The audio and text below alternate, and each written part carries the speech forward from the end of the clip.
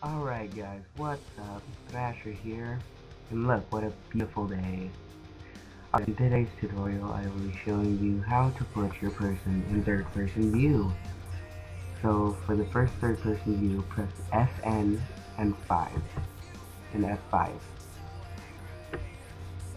For the second one, press FN and 5 again, F5 again, and you'll be in this third person view um, for your coordinates, press Fn and then F3, and you'll show your X, Y, Z locate uh, coordinates, and LC for location, extreme hill, mine's extreme hill biome, and the rest of the stuff, how many chunks have updated, stuff like that.